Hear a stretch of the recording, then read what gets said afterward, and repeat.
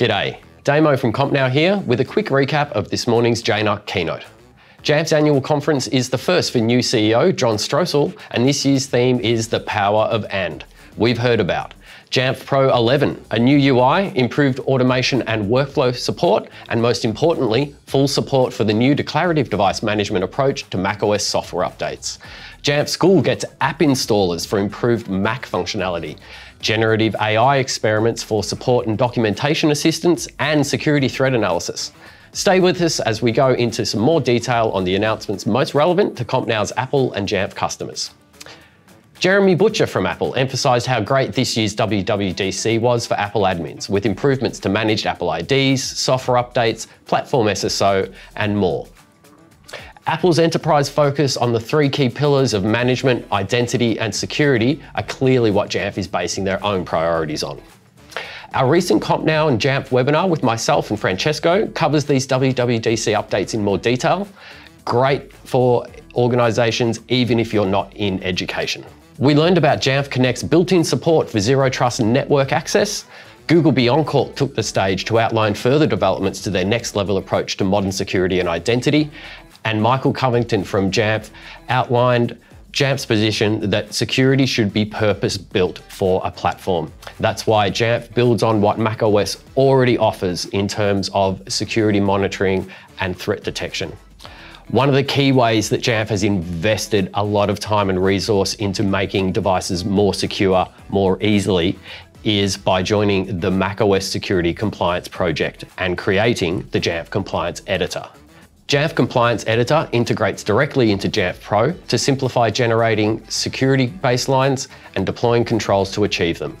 Jamf's team have created a tool for us that makes one of modern organisations' most important and sometimes most onerous requirements an absolute walk in the park.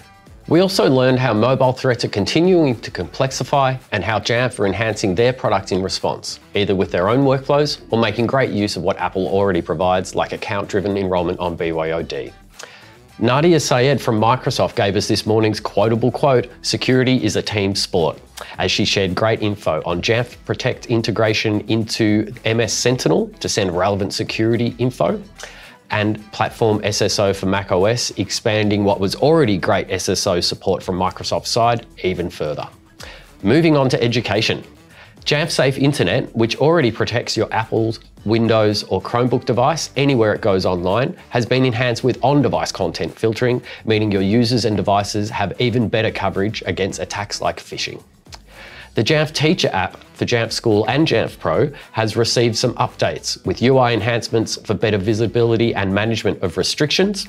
Jamf School is getting app installers. It's available today. One of the best newer features from Jamf Pro for Mac management and automating the installation and patching of apps is now coming to this education specific platform. This is yet another development for Jamf School that underlines its maturity as a management solution for education specific environments. It's not baby Jamf, it's edu specific Jamf. It wouldn't be a tech conference in 2023 without a mention of AI. The Jamf Collaboratory is the team that experiments with how AI can assist Jamf customers, and they've announced two very interesting projects. Documentation and workflow advice will be provided by an AI model trained on Jamf Nation forum posts and the many, many years worth of Jamf documentation. On the security side, the hypothesis engine for Jamf Protect gives you additional context and potential causes for security alerts. Kind of like a veteran InfoSec operator, you would ask for advice. One of the key themes underpinning all of today's content was the concept of employee choice. Multiple times, the topic was mentioned as the IT industry's new normal, and it was called out that current growth continuing will lead to Apple devices being the dominant endpoints in enterprise by the end of the decade. So many of the features we've learned about today, or enhancements to features we've known and loved already, make supporting an employee's chosen device and platform easier than ever. As one of the CompNow team that focuses heavily on the delivery of choice programs, it's fantastic to see Jamf make it even easier in so many ways. We hope you found something of interest in this morning's keynote, and we'll be watching the sessions keenly for new ideas and workflows to support our customers' use of Jamf and Apple products. Watch out for Australian Jamfs, Stu McDonald and Aaron Zembaka, who both have sessions this year, And the Mac Admins podcast, James Smith, is presenting as well. Virtual passes for JNUC are still on sale if you want to get the earliest possible access to this year's sessions. If you're not able to attend virtually but still want some great Jamf content, see our recent webinar series. Each session's a great resource for the big picture around modern device management, identity and security, and today's announcements only enhance what our teams discuss. CompNow provides IT built for you. If you have questions about what we've covered here today, or anything to do with JNUC or Jamf, contact your CompNow account manager or email info at compnow.com.au. Cheers.